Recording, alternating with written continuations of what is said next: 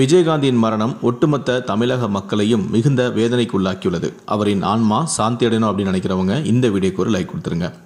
குறிப்பாக அவர் பல பேருக்கு செய்துள்ள உதவிகள் குறித்து தொடர்ந்து பேசப்பட்டு வருகிறது. இன்று திரைத்துறையில் மிகப்பெரிய நடிகர்களாக இருந்து வரும் விஜய் தனுஷ் குடும்பம் வடிவேலு சரத்குமார் மன்சூர் அலிகான் உள்ளிட்ட பல பேரை இவர் திரையில் ஜொலிக்க வைத்துள்ளார்.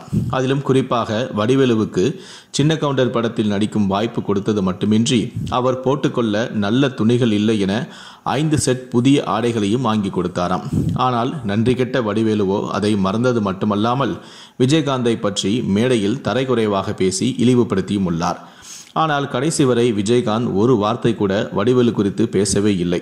மாறாக தன்னை சந்திக்க வரும் காமெடி நடிகர்களிடம் வடிவேலுவை தொடர்ந்து படங்களில் நடிக்கச் சொல்லுங்க ஐயா அவர் பிறவி நடிகர் என கூறுவாராம்.